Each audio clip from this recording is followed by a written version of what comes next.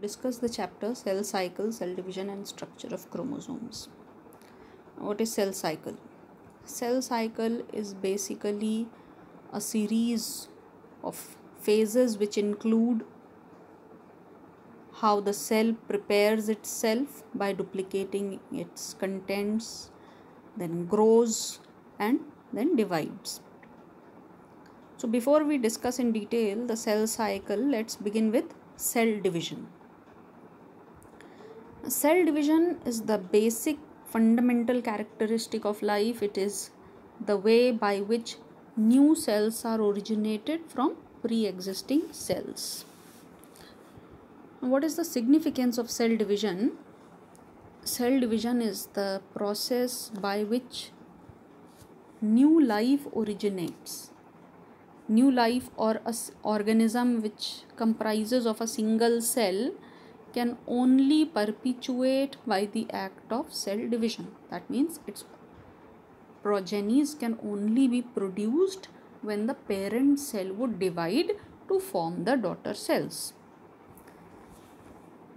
Now similarly in other multicellular organisms a cell may divide to grow to regenerate, to repair or replace old cells, and to reproduce equally. So, these are the major significance of cell division. Now, let's talk about the cell division and its types. Cell division can be broadly divided into two major types that is mitosis and meiosis. Now, what is mitosis? Mitosis is the process of cell division by which the somatic cells or the body cells may divide. Here, the number of chromosomes is the same as that in the parent cell. That is the number of the the number of chromosomes in the daughter cells and the parent cells remains the same uh, the other one that is my, meiosis the chromosome number of the daughter cell and the parent cell may vary. This we will discuss later when we will discuss in detail about meiosis. Now we will talk about the stages of the division that is mitosis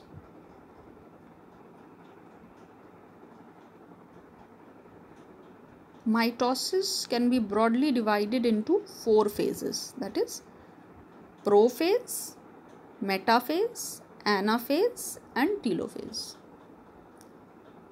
Prophase which is also the longest phase of uh, the division here the nuclear content is the major portion which is undergoing changes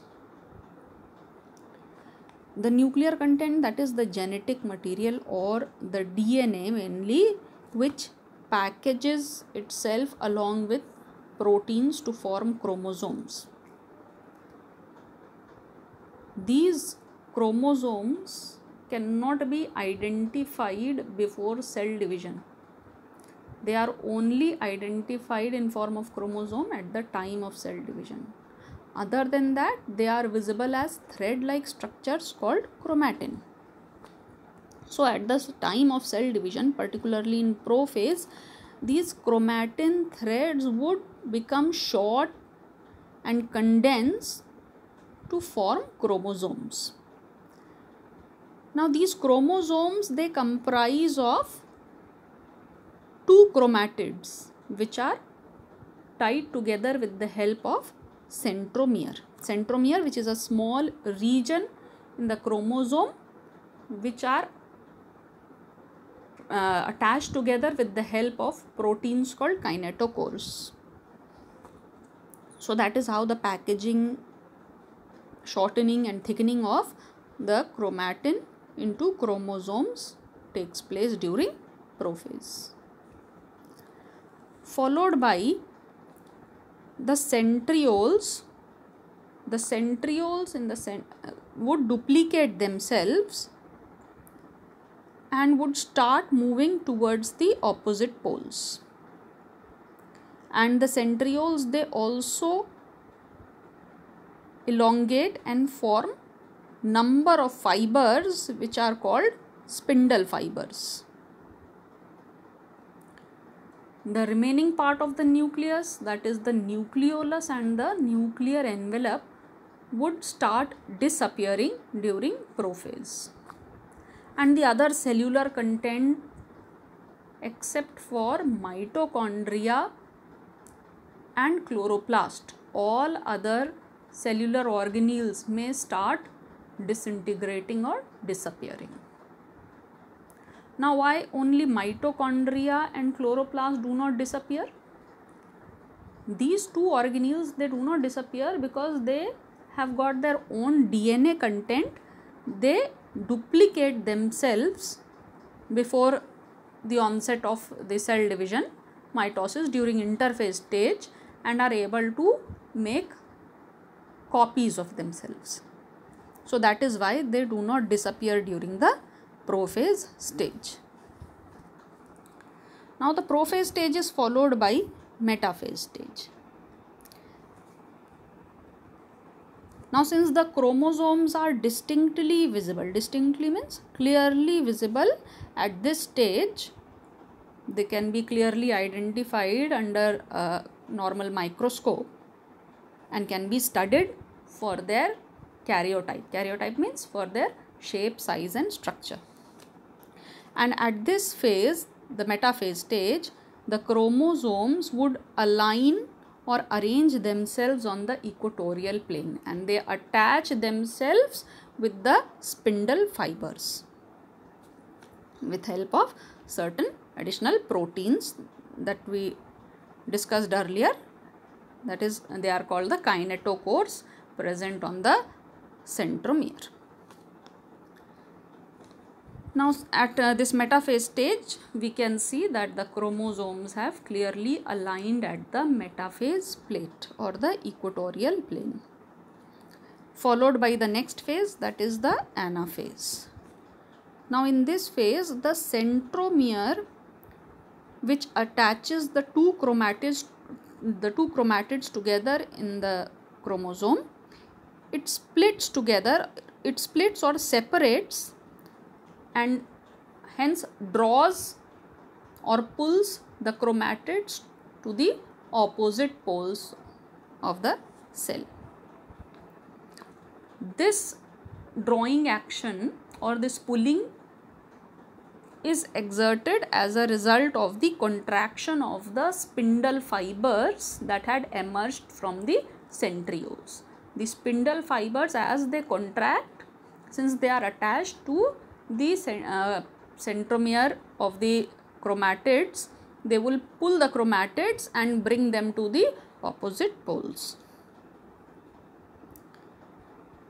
So, in the late anaphase stage, we can clearly identify that the chromosomes or the chromatids are present at the opposite poles.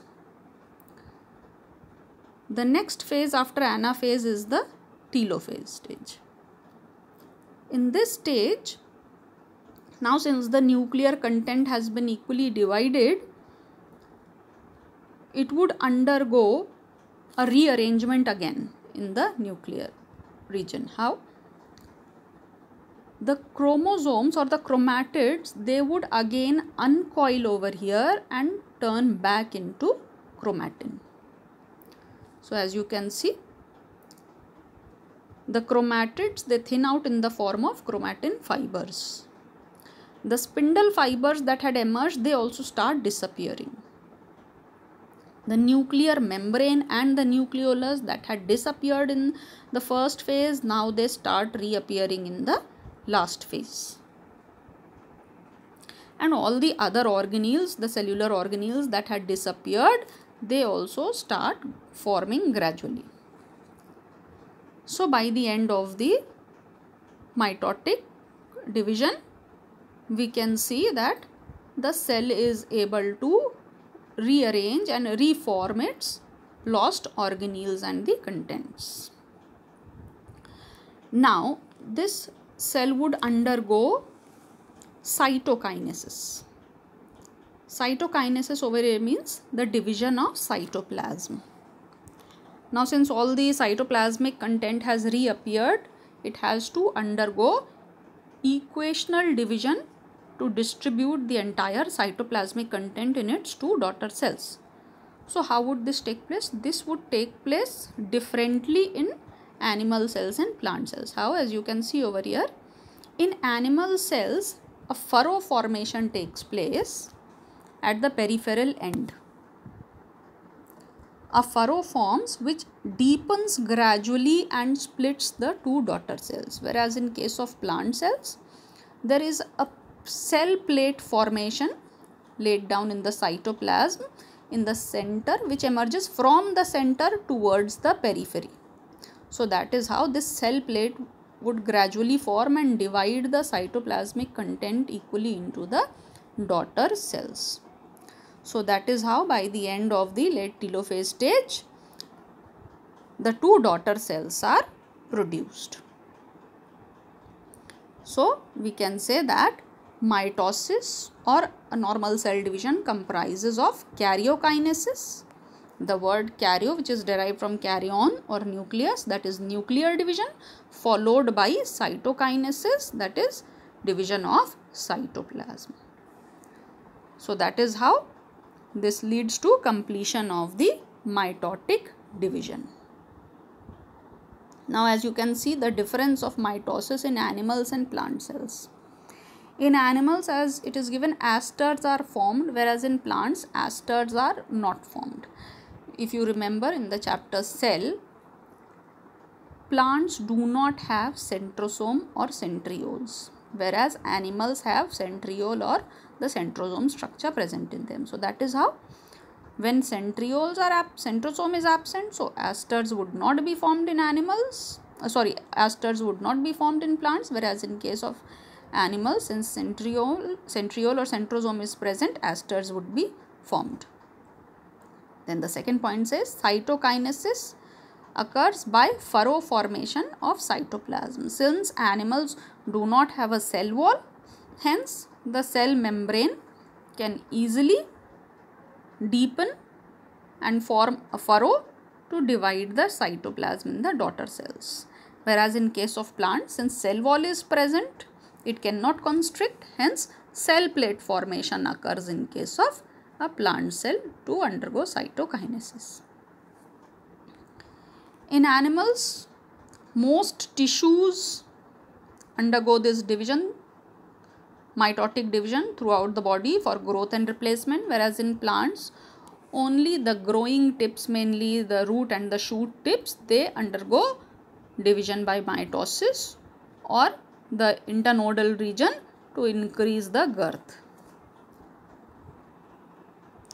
Now, since we have already earlier discussed the significance of cell division, the same would be followed here for the significance of mitosis. We can see mitosis would occur for growth in somatic cells, hence increase in the body size, for repair of the damaged or the wounded tissues, for replacement of the old and dead cells and for asexual reproduction as in amoeba and yeast.